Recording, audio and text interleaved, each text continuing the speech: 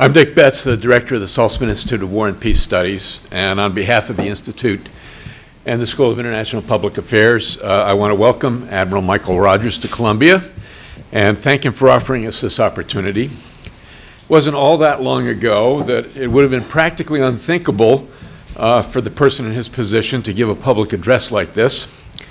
Uh, and while secrecy is still paramount in much of this business, uh, I think today we'll get a chance to uh, get a little beyond that and, and, talk about some of the bigger issues. Uh, the first time I remember entering the portals of uh, NSA at Fort Meade was in my youth, working on the staff of the First Senate Intelligence Committee uh, in 1975, and I vividly recall my first impressions. Uh, first, this place is a lot bigger than CIA, and then security in this place is a lot tighter than at CIA. Uh, some things haven't changed, uh, but uh, much has, and in only a few decades. Uh, most of the point, none of the students here, I suspect, can remember life without the internet. Uh, and I suspect few can even imagine anymore trying to live without it. Uh, the overwhelming importance of cyberspace as both a fundamental underpinning of modern life and a zone of conflict has led to a major additional responsibility for the director of NSA as head of the U.S. Cyber Command. And Admiral Rogers is uh, coming to us in that capacity today. Uh, let me now hand over the introduction to uh, Jason Healey, our senior research scholar uh, in SIPA, new this year, specializing in cyber conflict, competition, and cooperation. Uh, Jay was the founding director of the Cyber Statecraft Initiative of the Atlantic Council. Uh, he's editor and co-author of books on the subject. Uh, he's a member of the, he's a rather president of the Cyber Conflict Studies Association uh, and previously taught cyber policy at Georgetown and SAIS. Uh, he's director for cyber infrastructure protection at the White House from 2003 to 2005. Worked at Goldman Sachs and uh, in his career in the Air Force worked on cyber operations. He has degrees from the Air Force Academy, Johns Hopkins, and James Madison University. Jay. Good afternoon, everyone. Welcome to Columbia. Um, and it's great to see so much of the Columbia community here. I see people from all across the campus. To, to give you the outline of what will happen today, the Admiral will give um, some comments. Uh, then we'll do questions and answers. Uh, we'll, we'll cut right to uh, the Q&A since we've got so many fantastic people here. Um, now, the part I want to emphasize in Q&A is um, the Admiral will be fantastic on, on the A part of that, the answers, but you actually have to ask a question. Uh, that means it is short and it ends actually in a question mark. Um, I want, uh, there will be people with microphones, so please just get my attention and, and I, will, I will call on you and we'll get the microphone to you. I wanted to thank Christian Science Monitor, Christian Science Monitor Passcode, um, who is uh, live tweeting and with us on the video feed. So Admiral uh, Michael Rogers, Commander of U.S. Cyber Command, and the Director of the National Security Agency. After graduating from Auburn and Naval ROTC, he started his career as a surface warfare officer before switching to cryptology, which covers the making and breaking of codes and related work. He had served as Director of Intelligence for the Joint Staff as well as U.S. Pacific Command, and most recently, before this position, was the commander of U.S. Fleet Cyber Command, 10th Fleet. As you'd expect, with a career spanning over more than three decades, he has a distinguished career with jobs ashore and afloat, including leadership of the Joint Chiefs of Staff J3 Computer Network Attack and a Defense Shop, and Special Assistant to the Chairman of Joint Chiefs of Staff and Director of the Chairman's Action Group. He's a distinguished graduate of the National War College, graduate highest distinction from the Navy War College, also a fellow of the MIT Seminar 21, alumni of the Harvard Senior Executive and National Security Program, and holds a Master of Science in National Security Strategy. Admiral nice. Rogers. So after that introduction, I'm sure most of you are wondering, what does half of what you just heard really mean? So, hey, so I've been a sailor for 34 years. Uh, joined the Navy as soon as I graduated from college because it was what I always wanted to do. Always wanted to go into the Navy. Didn't come from a military family, and I grew up in Chicago.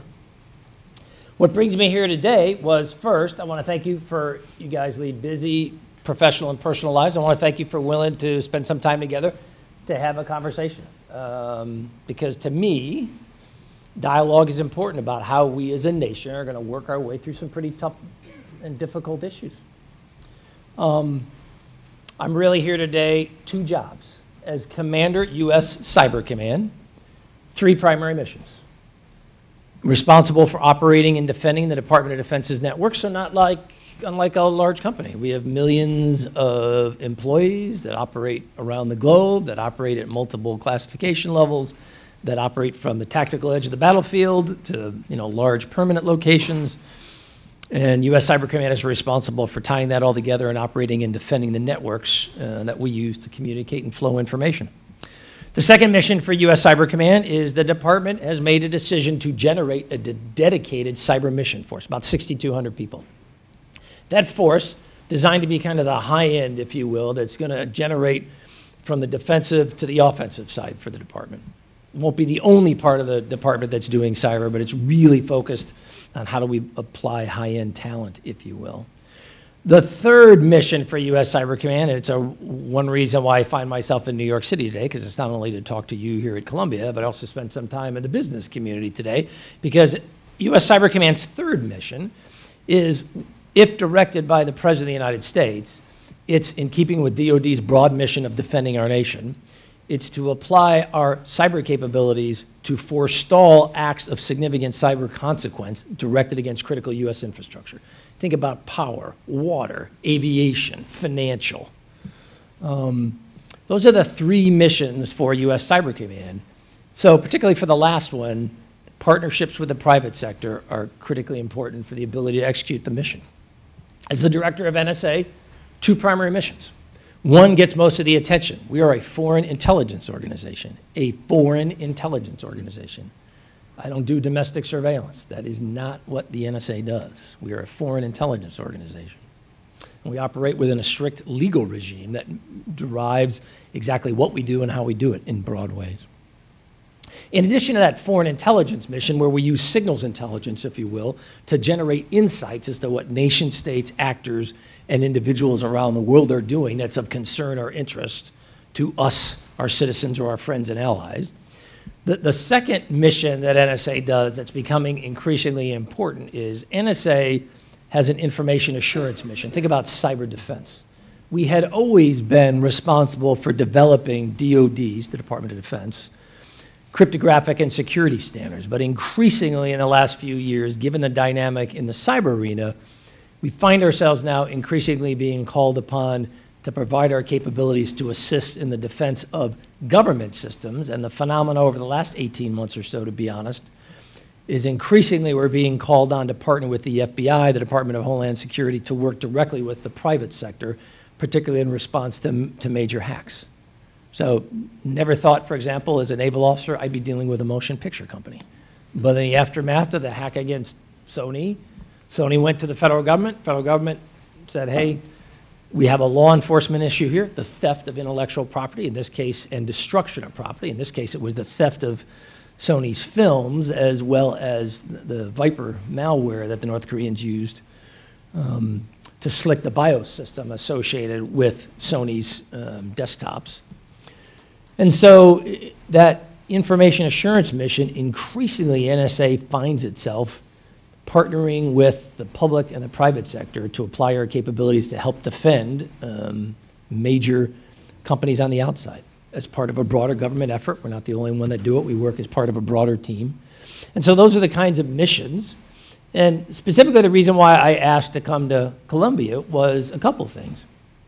Number one, you, some of you potentially are the workforce of the future for us. And I am interested, as is any ongoing concern, in ensuring that we get access to the best minds that we can find. Motivated men and women who want to apply their capabilities to help us in defending the nation, whether you join us as NSA or uh, you do that as U.S. Cyber Command. While both organizations have really interesting technology, at their heart, they are organizations that are powered by men and women. And so I am always interested in how can we get the best men and women to be part of the workforce. The, the other reason, and then I'll shut up so we can um, have a dialogue, because you just don't want me talking at you. Quite frankly, I am interested in a dialogue. You know, one of my frustrations for the last 18 months is I'm watching people talk past each other. And sadly, all this is happening in a broader context. We find ourselves as a society increasingly polarized. We are unable to achieve political consensus on you name the issue. We generally increasingly distrust the mechanisms of government. We increasingly can't disagree with each other. We have to fundamentally demonize each other. Hey, there's something wrong with you because you feel differently than I do. Or what is it about you that leads you to believe something fundamentally different? There must be something wrong with you. That is the dynamic that we're dealing with as a society right now, if we're honest with each other.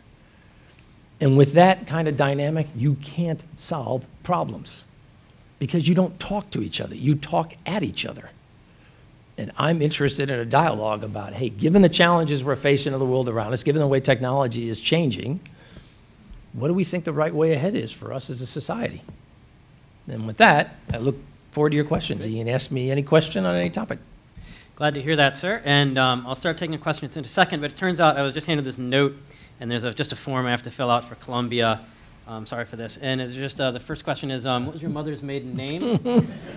and uh, or your favorite? There you go. Can you give me? Uh, Ah, rats. Okay, you're not gonna. damn it. Not, gonna Not going for for that one. Okay, so that's social engineering, and it doesn't and it doesn't work. Um, okay, can I, let's, let's, we're just going to go right to the floor and start opening it up. Um, and uh, so, first question. Uh, okay, I see back here um, on uh, on my left, and you can go ahead and if you can start. You can continue to catch my eye, and I'll and I'll and I'll try and get your position. Okay, and then next is going to be over here. And before you ask, can I do something really quick? This is just a military custom that I always do. Because the first person to ask the question generally always has the hardest job. Need a small token?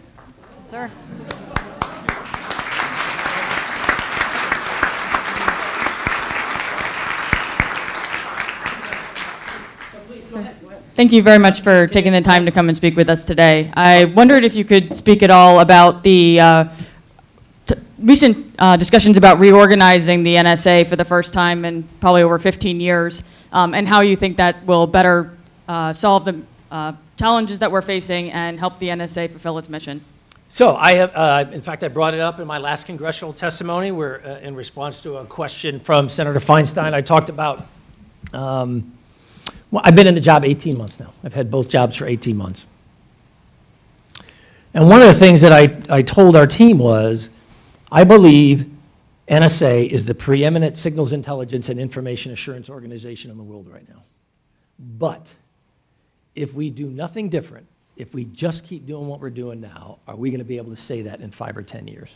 And I've always believed as a leader that part of my responsibility is to make sure that whoever comes behind me is going to be able to say, just as I was when I started this job, hey, I think we're the best at what we do. And I want, for, this, for the security of our nation, I want to be able to say that in the future. So I asked the team at NSA, I said, I want you to step back. I gave them 12 specific areas I wanted to focus on, from how we grow people, to how we recruit people, to how we're organized, to how we innovate, to how we assimilate technology, to how we develop technology.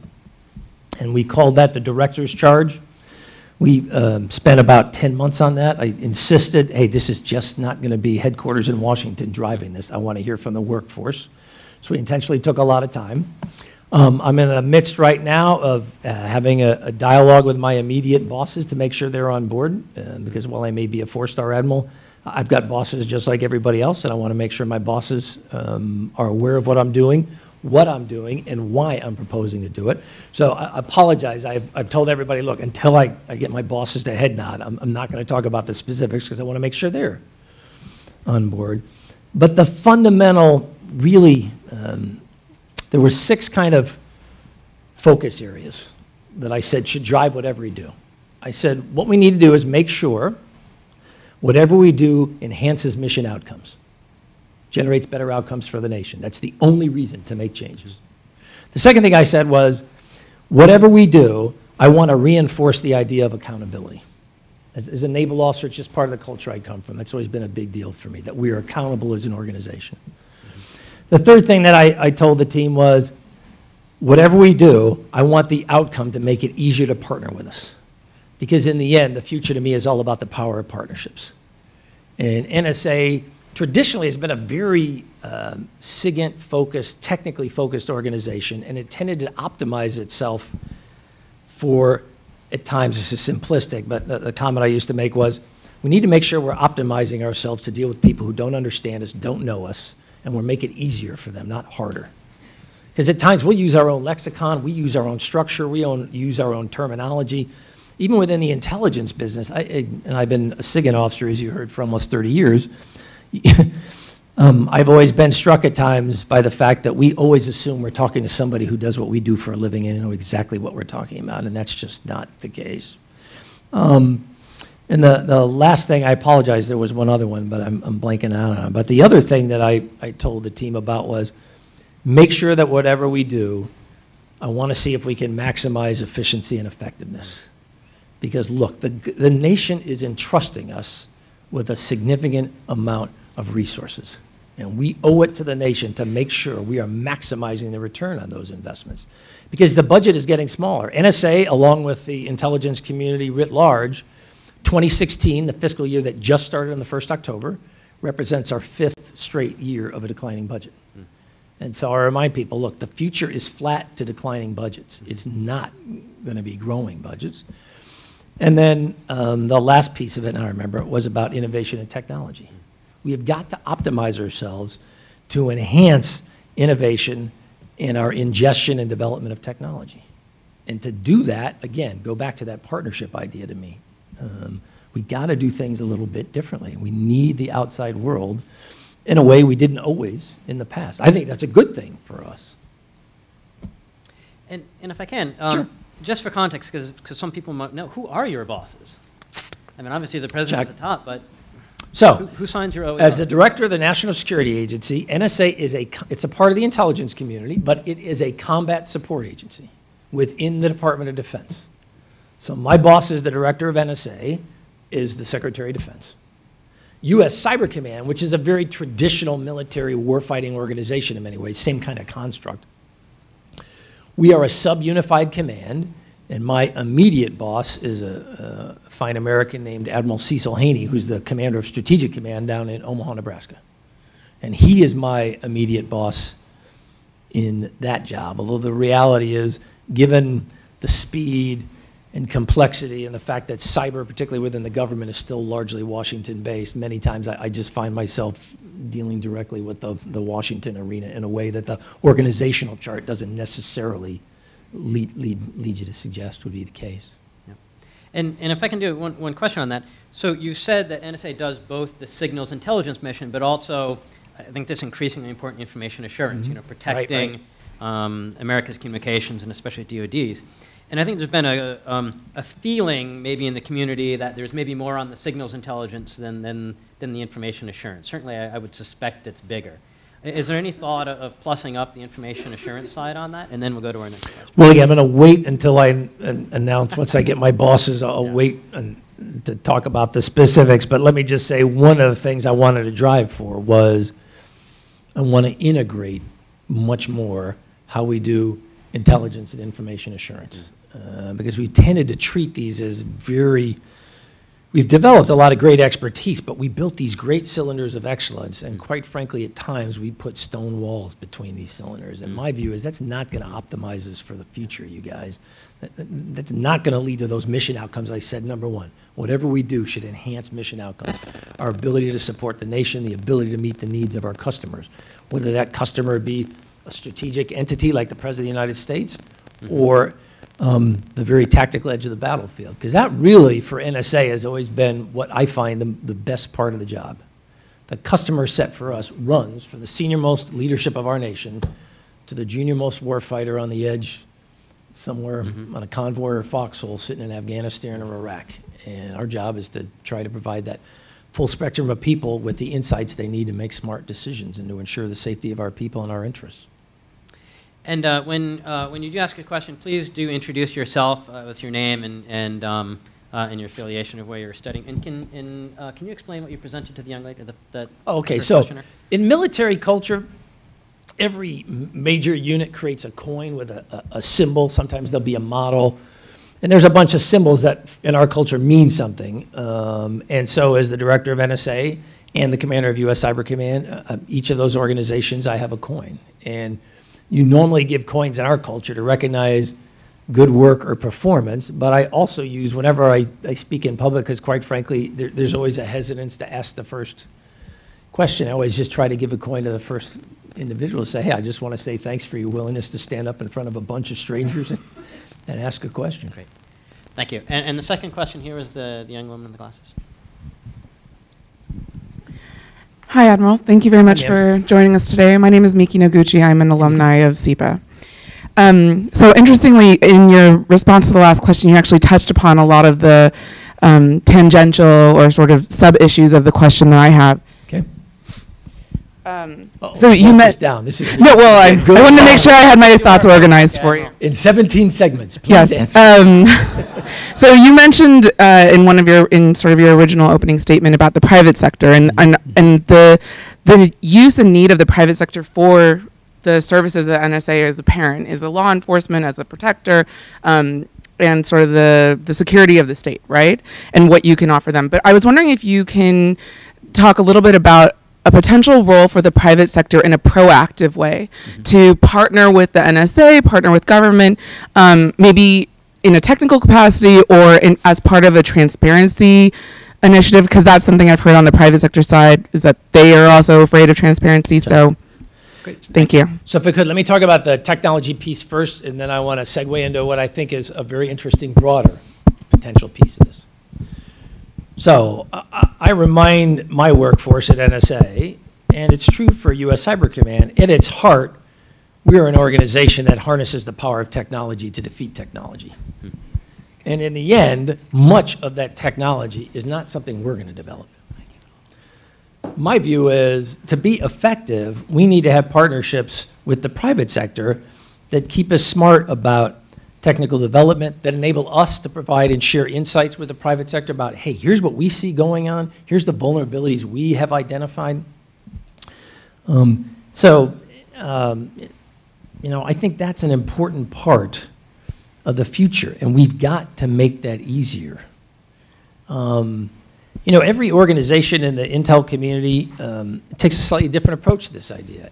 NRO, the National Reconnaissance Organization, that is the element within the intelligence community in the United States that launches satellites, that runs our constellations on orbit. They represent one extreme, and NSA is probably the other. NRO's model is small number of, of government employees, I think it's about 5,000, and they turn to the private sector to do almost everything.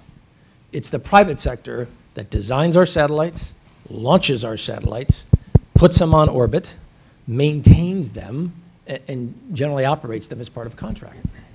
And we use government in simplistic terms, and we use the government workforce to identify requirements, to prioritize, to help with the quality control, and to provide oversight. NSA's model historically was always very different, um, in part because of the sensitivity of the work we do. Generally, our attitude was go out and hire the best mathematicians, the best computer scientists, the best double E's. You bring them in, and then we would develop most of our own technology. Most of what we use in our business, quite frankly, we developed inside. Um, my view is I'm not sure that optimizes us for the future. Another reason why I'm interested in the broader partnership is I'm watching two cultures that often talk past each other and think they understand each other. So when I ask my workforce sometimes, simplistically, so I'm going to paint a broad brush, so uh, this isn't true for everybody. You know what, what some in my workforce will say when I ask them, tell me how you would describe your counterparts in Silicon Valley. What, what, what's the way you would describe them? And a lot of times I'll get with, hey, they're all about money. And I'll go, interesting. If you ask somebody in the valley what their self image is, we are using technology to change the world for the better. Mm-hmm. That is the self image in the valley. That's a good thing for the nation, it's a good thing for us as a world. Likewise, when I'm out in the valley at times and I'll ask, so tell me how you would characterize NSA's workforce. What's the image that comes to mind when you think about us? And sometimes I'll get, oh, well, you have the workforce we didn't want to hire. And I'll say, hmm, then explain to me, for example, why you are freaking actively recruiting right now across everywhere that I have a major workforce element. You're snapping them up like there's no tomorrow. So who are we kidding here about, well, this is the workforce we didn't want to hire? So I watch two cultures at times. They each think they understand the other, but they really don't. And so one of the reasons I'm interested in more partnerships is because I want each of those perspectives to be informed more by personal observation and experience than ignorance. And so I'm interested in creating an environment over time where I can use government employees to work for us for a while and then go out and work in the commercial sector for a while and then come back. I'm interested in an environment where I can take the private sector and say, how'd you like to come work for us as an intern for 12, 18, 24 months? And I'll give you a problem set where I think your, your abilities are well suited, and I'll give you a problem set that I think will generate insight that will give you the benefit of experience and insight when you go back to your company. Now, I'll, I'll also remind people we got to meet security clearance requirements here because the nation entrusts us with very sensitive data and information.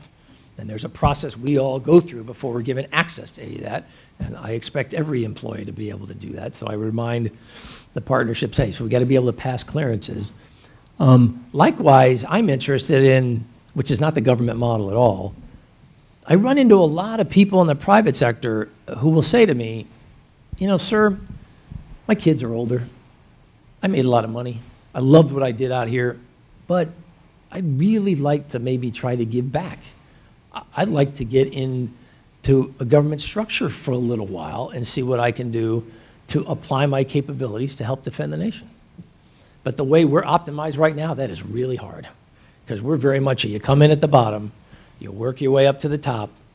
Um, that's not a model that scales well to bring people in. So I'm trying, again, it's part of those changes that I'm trying to work on that you'll hear more about uh, in the future. But it goes back to that power of partnership. And it's true for Cyber Command. If you read, and then I'll shut up because I'm taking too long to answer your question, I apologize. If you read the DoD cyber strategy, unclassified document, second one we've done, it's on the web and the DoD website. We just released it in April of 2015. In there, we talk specifically about five broad goals, or five tenets that will underpin how we're going to move ahead in the cyber arena. And one of those five is all about the power of partnerships and how we need within the department to do things a little differently, both in terms of our ability to harness technical capabilities, but as well as workforce expertise. So it's not unique to NSA. I think it's pretty foundational to the DoD writ large in the future. Great. And uh, next here is uh, so this gentleman here in the kind of purple shirt, and then after that we're going to go to the to the woman here. toward the end. Uh, thank you so much for coming in Hey, sir. to us. My name is Barak. Hey, Barak. I'm first sergeant in reserve in the IDF and a student in Columbia. Ah, Um, it is uh, argue uh, what are the balance between national security and privacy. This is an arguable uh, discussion. mhm. But one discussion is less arguable is whether you can both judge yourself and execute commands. Because you Can- hold. I apologize. Can you, I, I, Yeah. I didn't get, could you repeat the last part of it? Yeah, do you want to talk without a microphone? No, no, no. Please, ch- no. with right. the microphone. Um, Just repeat the. In democracy, you have a separation between judgmental boroughs and executive and laws. Okay. In your organization, you have both the court and the body who execute the commands. Do you think you're capable of judging your own decisions inside the organization without uh, exposing other parts in the government your process of decisions? Great. Check. So, and I think in general, over you know, both an oversight and, and how we know Right. we're doing the right things. So I'll, I'll talk, ab- Or do you need more oversight? Right, I'll, I'll, I'll talk about it more broadly. So the first point I would make is, the court is not in my chain of command. They don't work for me, I don't work for them. In our government, they're in the judicial branch, totally separate, independent. We created a structure as a government in which we put a creative tension into our very framework. We created three different branches, and we structured our legal framework in the form of the Constitution to explicitly make change difficult because to drive change, you have to get consensus generally across multiple segments of those three branches. Kind of that we, in the United States, in our history, we talk about it as the whole idea of checks and balances. So within the U.S. legal framework, um, you know, the legal framework I use with U.S. Cyber Command is whatever evolutions we execute are done in accordance with international law and the law of armed conflict. And that's true whether we're doing, as a military, something kinetic, dropping a bomb, or we're doing something non-kinetic, kinetic, launching a software program designed to achieve an offensive effect, if you will. Our legal framework is we're going to use the same broad construct. It has to be done within legal framework, it has to be proportional, and it has to be very discreet, very specific. We use that same process when we think about dropping conventional ordnance. Our view is we're going to do the same thing when it comes to the application of force in the cyber arena. On the NSA side, NSA has one executive order and four laws, if you will, that are the legal basis for what NSA does. Each of those laws in the executive order are, are a little different, but I'll, um, because you focused on the court, I'll talk about the, the, the, the broadest one that really goes to where we have to go to a legal, a court, a court to get approvals. So, under US law, for NSA to do focused collection against a US person, number one, it is illegal for us to collect a US person in the United States. It is illegal for NSA to collect against a US person in the United States. To collect against a US person outside the United States, I must make the following case to a judge. I must convince the FISA court that the individual is acting as an agent of a foreign government or power, not as a US citizen, but they have become an extension of a foreign government or, or, or a group. And then in addition, I have to make the case to the judge that there's reasonable grounds to believe that the individual is involved in one of about six different categories of behavior proliferation of weapons of mass destruction, counterterrorism, efforts against U.S. computer systems, efforts against um, U.S. military. You're going to kill me, Emily. There's one more. I, I apologize. I always miss one. But there's a, a specific legal basis. We just can't indiscriminately say, hey, today is Tuesday, and we'll go after everyone whose name starts with a J. It doesn't work that way. Got to go to a judge, and we got to make a specific First, legal first case. name or last name starts Yeah, with there you go. So you got to convince a judge. And then the judge, again, I'm talking about a specific scenario, focused collection against U.S. persons. And then the judge grants us authority to collect against that individual using specific selectors or terms for a specific purpose for a specific period of time. And then if I want to go beyond that period of time, I got to go back to the judge again and make another case about why I think we should still be allowed to do it. Now, if you look at the total level of collection that NSA does, what we do that's focused on, targeted on US persons, it's like single digits. I mean, it is really incredibly low numbers out of our total mission. But it's the part that, as a result of the environment of the last couple of years, tended to be an area that got a lot of attention in particular. So we, um, let me do one other one.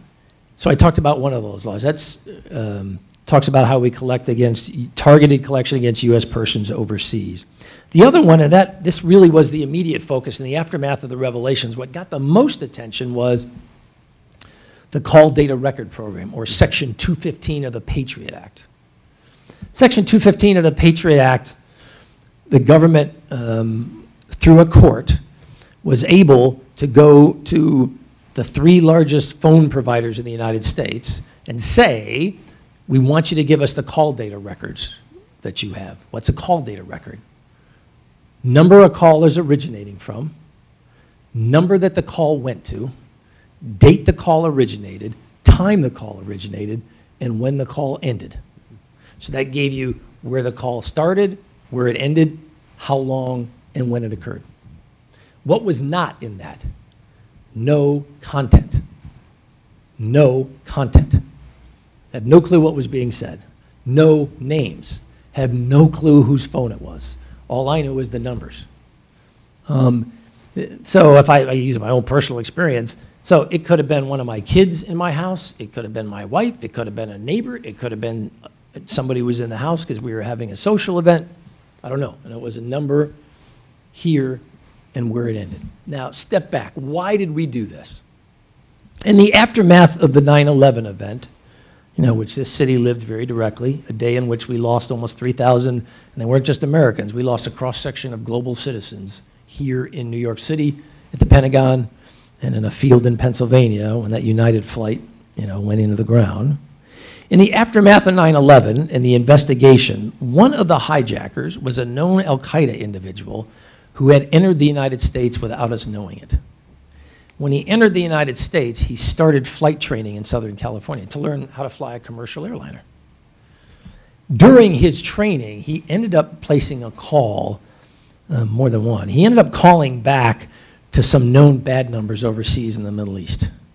Because the legal framework at the time, we didn't have access to any of the records. In the aftermath of 9 11, the 9 11 Commission said, can't we come up with a framework where the government can come up with a means to try to see if there's overseas foreign terrorist activity that's tying directly into the United States?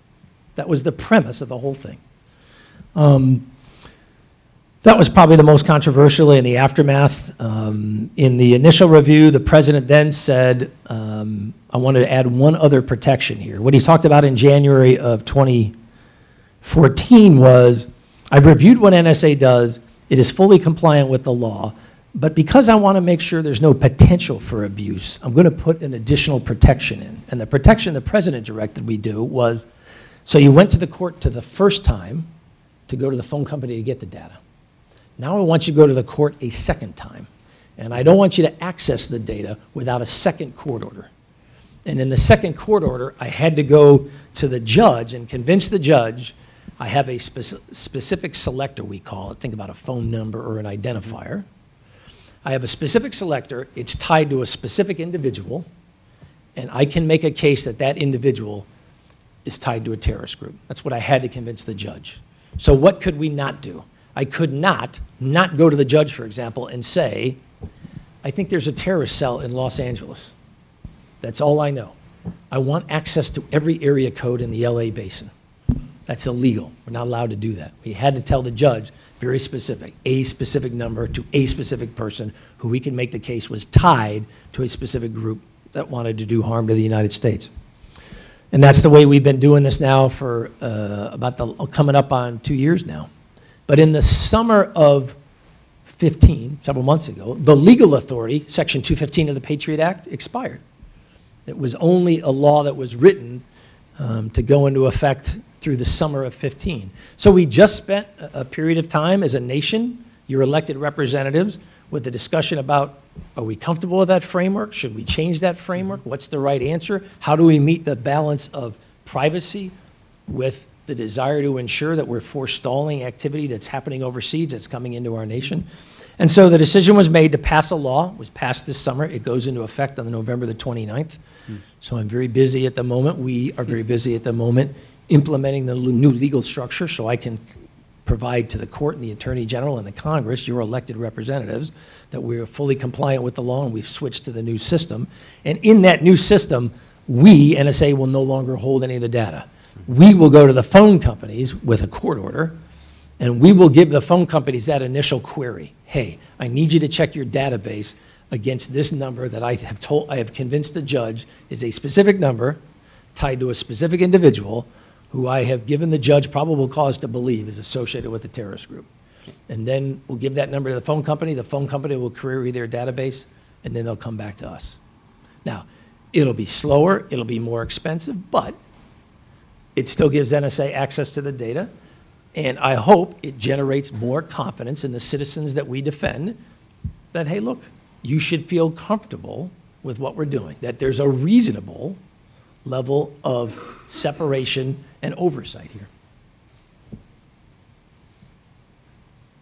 Great, thank you. And uh, let's go. I'll go to my my Let's left go on the here. left. My uh, to my left here, second row. Second row. Can you put your hand up, please? And I'm going to take two questions at a time. So one, and then So second you can here, so, stage. uh, about uh, fifth fifth row back with the white shirt. If you can just go ahead and give the mic now, and then I'll take bo- both questions at, at, at once. Please go Hi, ahead. my name's Muna Habib. I'm a master's student at um, the Journalism School at Columbia. Um, I just wanted to ask, uh, how big a threat is cybersecurity really? I mean, with some people that I've spoken to in Washington, they think it's all propaganda generated by um, defense contractors trying to win some of I your apologize for laughing. yeah. So I just wanted to know how real is the threat? I mean, in England, we aren't being threatened by cybersecurity. I mean, I don't think other. It always seems to be around America. So I just wondered how big a threat it really was. But he wants to wait till second question, but then I'll, I'll come Okay, back. and then, okay, and then second. Yeah. Hello, my name is Yoon Hyun Kim. I'm first year MIA student in SIPA. Uh, my focus is more on interstate interstate conflict in the cyber field, and um, so uh, the term the term of offensive strategy in the event pamphlet brought me to be here because uh, for a long time I've heard of the uh, weekly press statement from uh, Chinese Foreign Ministry that countries should respect the traditional international laws in the cyber field, that kind of thing. So uh, I just wondering, in this context, could you explain? Uh, um, could you explain the concept of offensive strategy in a more detailed uh, manner, please? Thank you. So I'm going to start with that first because I'll remember it, but I promise I'll come back. First, I'd step back and ask both nations start with a fundamentally different premise about the internet. The United States position is the internet is a global commons that has generated broad good for the world and our nation. And that goodness has in no small part been engendered by the fact that we viewed it, if you will, as international cyberspace beyond the government's control. China and other regimes, they're not the only ones who, who advocate this, say, hey, now wait a second. Our view is the internet and the web should be viewed as an extension of the sovereign state. Hmm. And therefore, just as a sovereign nation, I have the legal basis to ensure the security of my citizens on the land, the air, and the sea. I should be able to do the exact same thing in the cyber domain. Um, so we come at this, if you're just looking at China uh, and the US, we come at this from two very different fundamental premises. Our view is it shouldn't be the role of the government to control the dissemination of information. Again, other nations, China has a different view. Hey, they view it very differently. With the application of force, the offensive piece, in broad terms, our position has been the application of force, number one, should be viewed largely as an extension of the nation state. So a very Westphalian model, that this is not something you want to put out in the private sector where individual companies, for example, are just unilaterally deciding how they want to inflict damage on other competitors or other nations. Um, we have argued we should apply force in this domain in the same construct we use to apply force in the others. It should be done within a lawful con- construct. We use the, the international law and the law of armed conflict in the other domains. It should use the same broad tenets of proportionality. What do I mean by that? So, somebody shoots someone, the answer isn't I drop a nuclear, being very simplistic to show an extreme. Under international law, the appropriate response is not, no, I'm going to drop a nuclear weapon on you. That's idea of proportionality. And then very discreet. Hey, you should only apply offensive capability against those who, in simplistic terms, generated the capability against you in the first state, in the first place. So we have a you know difference of opinion. Our, our view is, hey, look, we're operating and we want to operate within the broad no, legal norms that are the that are the the standard for most of the world. Other nations, different view, um, view the whole internet more broadly. So I hope that answers your question. To go to your question, um, well, um, the first point I would make is, as a guy who partners very extensively with my partners in the United Kingdom, whether it's GCHQ, MI5, MI6, um, there's plenty of challenges you're dealing with as a nation right now in terms of penetrations of UK industry and the theft of, of intellectual property. It's not something unique to the U.S., although we're the largest economy in the world. So it's not surprising to me that we've got a, a pretty good effort directed a- against our economy. Um, it's not surprising in some ways to me, or not unexpected, I guess would be the way to phrase it.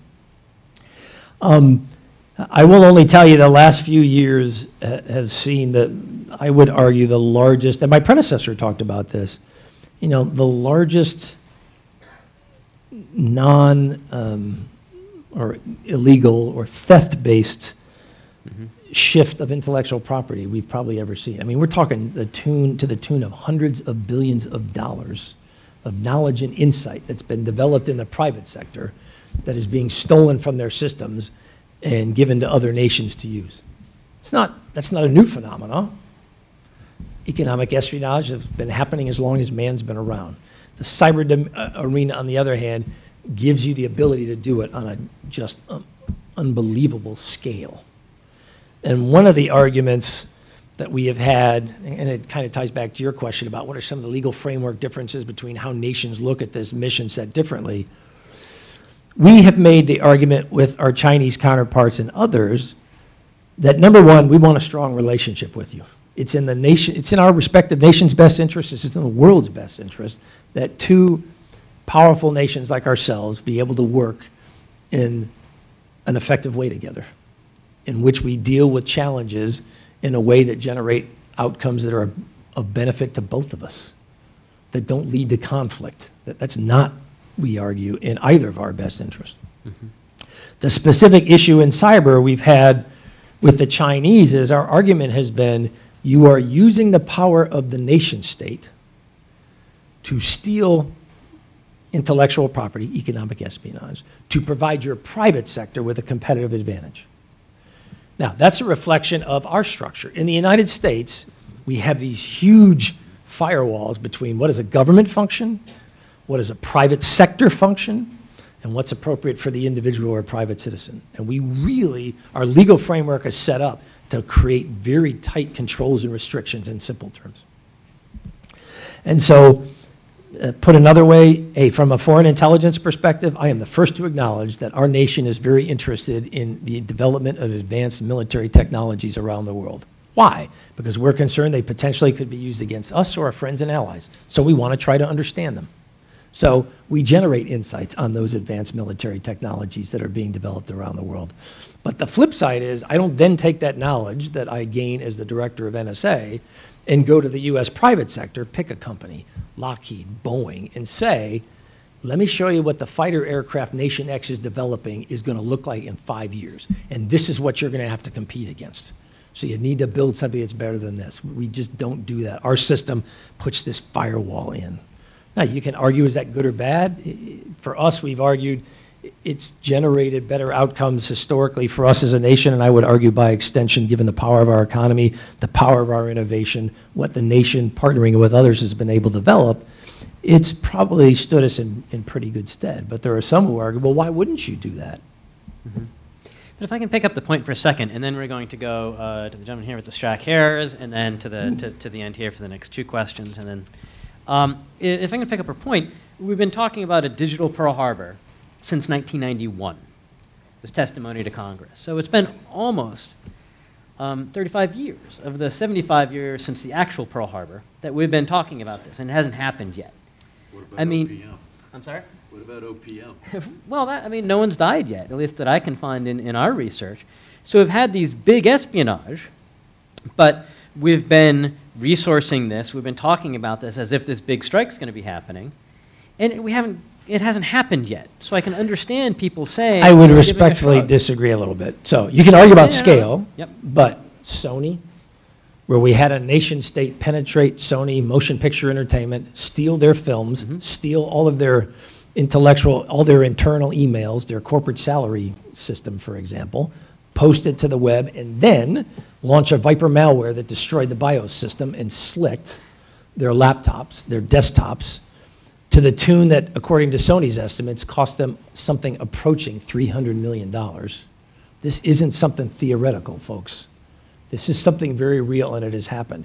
If you don't like that example, use Aramco in the Arabian Gulf two years ago, where, um, in this case, an actor launched a destructive program that was designed to take the Saudi National Oil Company. They were trying to do two things. Number one, forestall their ability to actually extract petroleum from the ground. Um, and then secondly, destroy their ability to execute their business processes. They managed to destroy, again, through a, a program that destroyed the BIOS system and slicked um, thousands of laptop computers and cost Aramco in the tens of millions of dollars. So I'm not trying to argue the sky is falling, but to sit here and say, well, this isn't really something real, we've been talking about this, I'm like, nah, it's not. If you step back, that's not true. Now, you've never heard me use the phrase digital Pearl Harbor because it's one that I don't really like. Because what I'm struck by about Pearl Harbor is two things. Number one, it was a, at least theoretical, bolt out of the blue, totally unexpected. And my attitude is the world we're living in right now, is anybody surprised by what's going on in the cyber environment that we're dealing with? I'm not surprised by it. So the analogy of a bolt out of the blue, I don't think is a good one. Mm-hmm. And then, you know, Pearl Harbor invokes this image of people dying in the thousands. Um, and while there will be destruction, it won't necessarily be, I hope not, Right. you know, in, in the human dimension. So the, the, the way I tend to describe it is, look, I fully believe that in the near term, we will see destructive acts of significant consequence directed against our private sector and against critical infrastructure in the United States. I believe that. And my argument would be, and I can show you where I've seen this happen, and I can show you where I'm watching nation states develop this capability. I certainly hope it never happens, and we're spending a lot of time focused on how do we talk to and convince nation states you don't want to do that, that's not in your best interest, that that would lead to outcomes that aren't good for you and aren't good for us. Yep. And, and I would think as we get more deadly, the more we do Internet of Things and the more that we use. Yeah, the, it. the re, another reason, uh, let me riff for just one minute, the Internet of Things. Another thing I often tell people is, look, things are going to get worse before they get better. Why? Because the very technical foundations of the world we're creating are leading to more interconnectivity down to a level we have never seen before. In, you know, my lifetime, an automobile was a mechanical entity that was designed to move me from point A to point B. It was almost totally mechanical, and the only remote device in the vehicle was a one-way receive only. We called it the radio. That's all a car was. You look at an automobile today, in the systems we're all driving, it is now a series of interconnected software and hardware capabilities that are constantly bringing information in and pushing information out at a level that we as drivers have no clue. That represents a huge potential set of vulnerabilities. And we are looking in the near term, in our immediate lives, we're going to see unattended vehicles driving on the roads in significant numbers. So the very, you know, world that we're creating for ourselves, and don't take from this that, is Admiral Rogers saying that the Internet of Things is bad? Nope. It's going to bring us amazing convenience. It's going to give us the ability to bring together processes in a way we've never done before, but we got to go into it with our eyes open. It also represents potentially significant vulnerability. Great, thank you, Admiral. And here, and then I'm going to go over to the end here. You can give, go ahead and give the mic now. Good afternoon, sir. My name's Nick. Hey, I'm Nick. a second-year SIPA student. Um, My understanding is that the NSA stockpiles a healthy amount of zero-day vulnerabilities for future operations. My question is, if you were to disclose more or most of those vulnerabilities to the private sector, do you think that you could tip the offense-defense balance towards defense and protecting intellectual property? So first question, tell me how, what percentage of vulnerabilities that we're aware of do you think we disclose to the private sector? Guess, tell me what you think a number would be. Uh, Honestly, just give me what you think, 30%. You know what the actual number was in 2015? 91%. Now, that's in part because the, um, the administration was in very direct. Hey, it is our government's policy that a strong, well-defended internet is in our best interest, and that strong and secure systems are in our nation's best interest. And so the, president is in very direct. Hey, the bias that I want you to tend to move to is disclosure. Now, we've also been very, and we've created a, a process in the interagency now where we review that, so that I, as the director, for example, just don't unilaterally decide, well, I want to disclose this, but I don't want to disclose that. We actually created a, a process that involves outside NSA, where I tee these issues up and a broader set of people across the government take a look, and we come to a collective decision about what we're going to do. Um, I'm the first to acknowledge, we have been very direct about saying there are some things we believe it is in our nation's best interest not to disclose. I don't pretend that for one minute. But I also say, let's step back, take the emotion out of this, and deal with fact. 91% of the vulnerabilities we became aware of, we disclosed.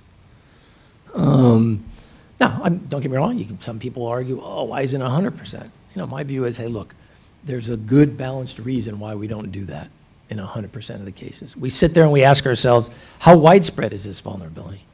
Is it very narrow? If it were to be used by others, what would the potential impact be? Is it used by only certain specific actors of particular concern to our nation? Is it widely used? Is it only used by governments? Is it used across the private sector, for example? I mean, those are some of the things that we'll physically walk through as part of, excuse me, as part of the discussion. And what I love about that is those are public policy questions in a public policy process. You know, the, you know, coming up with those questions, it's not technical at all, right? I mm-hmm. mean, that's, that's a way, you know, as a White House default of saying we're going to release these unless there's a strong reason. And I think that really gets to this, it not just being about signals intelligence and technologists, but it fits in this, Right. into this larger public policy framework. And again, it's one of the reasons why I'm here, because we got to have a discussion as a nation about what are we comfortable with. And you don't want me making that decision. As a nation, we collectively got to decide how we're going to do it. Because in our structure, we have two imperatives, and we've got to do both. The right of the individual to feel that the power of the state is not going to be applied indiscriminately against them is foundational to what America is. It's what was our founding premise. Those bastards in London aren't going to tell me what I can and can't do. They're not going to enter my home whenever they want. They're not going to send their military to occupy my country. And they're not going to tax me whenever they want without my input. That was the fundamental driver for 240 years ago when we became a nation. At the same time, that amazing document, the Constitution that talks about that fundamental premise, it also talks about the need for the government to ensure the security and well-being of the citizens that it serves. And so we're trying to figure out, I think collectively as a nation, how do we meet these two imperatives? Realizing that they both are critical. It ain't one or the other. It's not one's more important than the other one. It's what do we think is the right way to meet both these imperatives? Yeah. And how do we do that in a world in which the technology that we now all are counting on is fundamentally changing? Great. And I'll go to, go to my left here. Thanks. Uh, David Yep. Johnstein, faculty in political Hey, John. science. Um, I wonder if I could just go back to China for a moment. Mhm. Uh, The last three years under the current leadership, uh, as I think we all know, China's been increasingly Can you vigorous. closer to the mouth, please? Just closer to the mouth, please. Just closer. Yeah, Try to okay. swallow China's that. been Try to eat that thing. That's what China's been. Increasingly vigorous in trying to, def- trying to uh, uh, uh, limit its own population's access to internet. Right. You touched on that very briefly in passing. I just wonder if I could ask you uh, two quick questions about that related to each other. One is, do you have a sense, it's really one question, do you have a sense of, you know, can you estimate how effective you think China has actually been in that effort? And do you have any prognosis on whatever grounds, technological, political, social, about how effective that effort is likely to be in the coming years?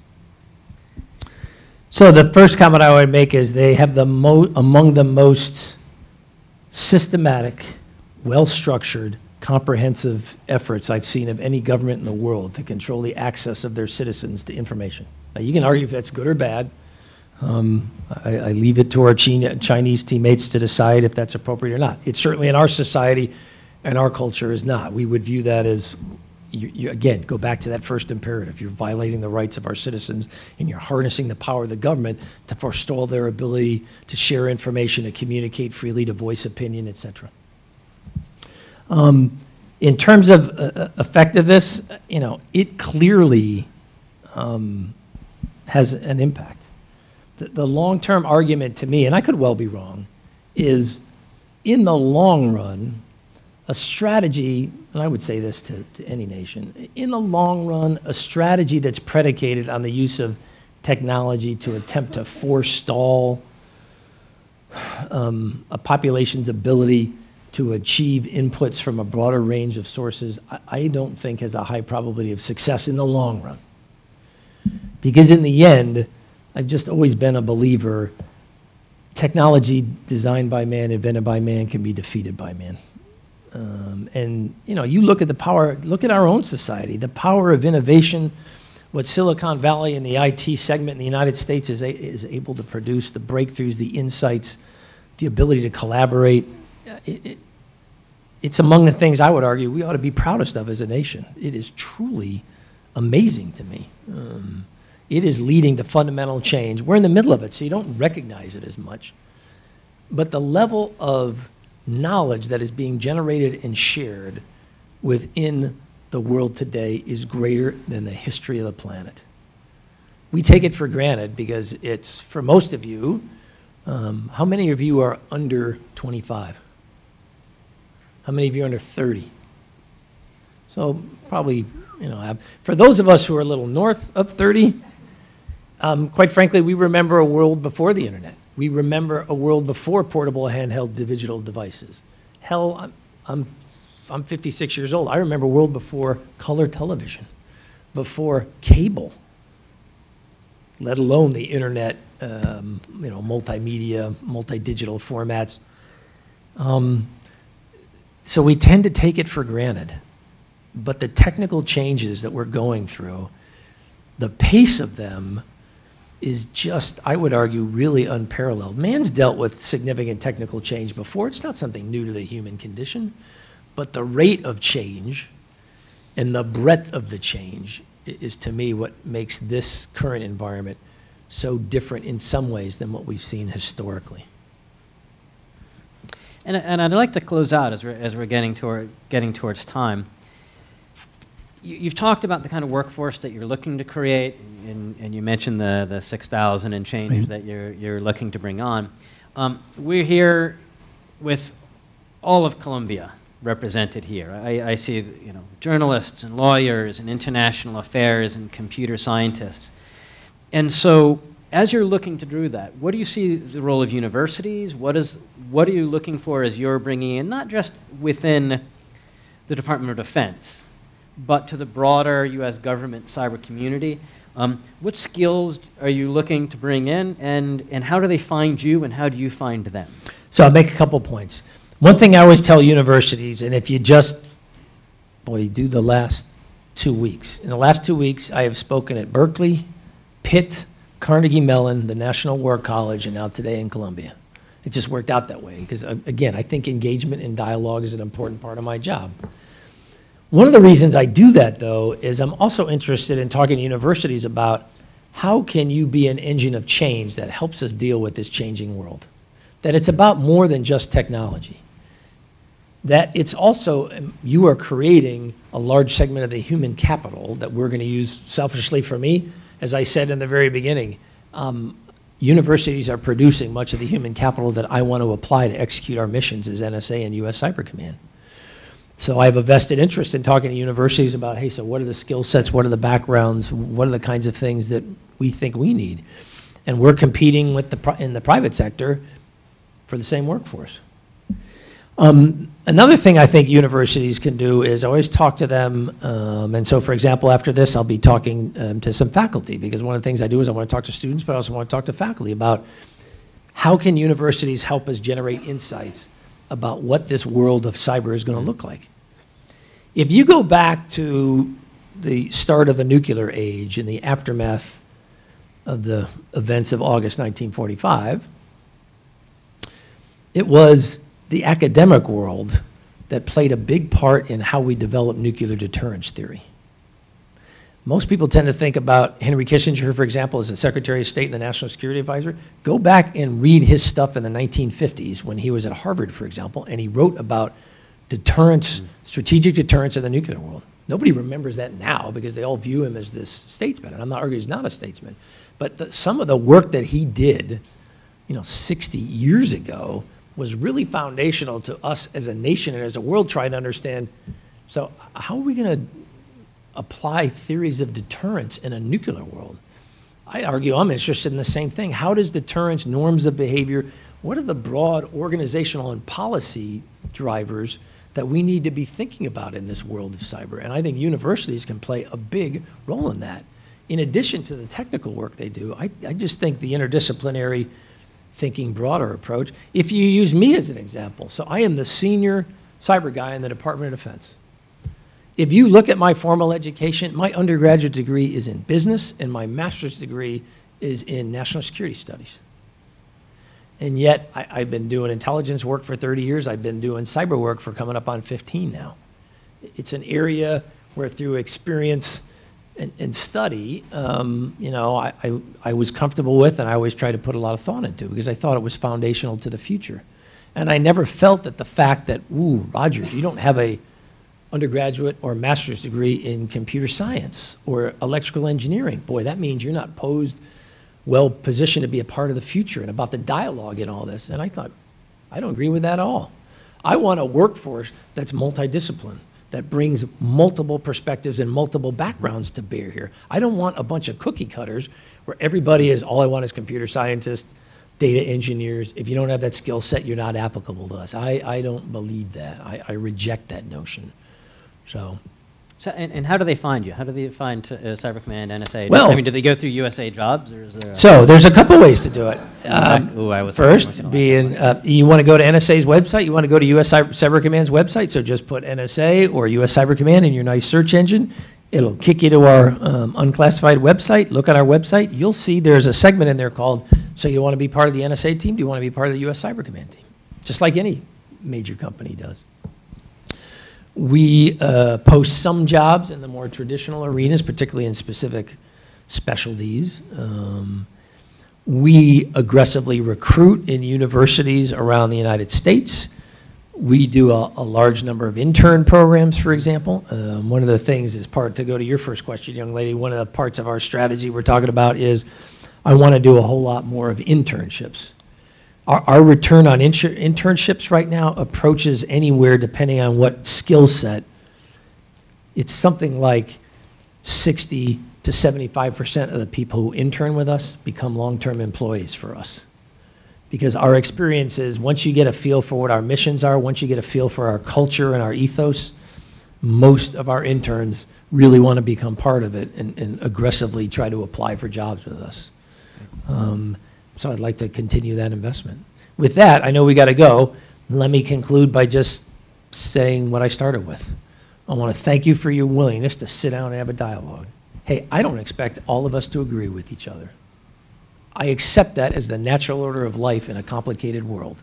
As I tell my own children, uh, you know, a couple of whom are some of the age of you in the, in the room, if you can't learn to live in a world in which others, based on a different set of experiences and a different perspective, come to different conclusions and feel every bit as strongly about their view of the world as you do, if you can't learn to live in a world like that, you have no success in a future, sons. You have got to learn what it means to live in a world in which different people are going to have different opinions and different perspectives. And you got to figure out how you're going to get smart on what shapes those perspectives, what leads them to believe the way they do, and not make this about, well, you're bad because you don't agree with me, or I'm bad because I don't have the same viewpoint as you. Look at what that is doing to us as a society right now. That is not a good place for us to be. This is a complex world with a lot of hard problems. And we need to come together as a society to figure out what are the answers to those hard problems. Thanks very, very much. Appreciate your guys' time.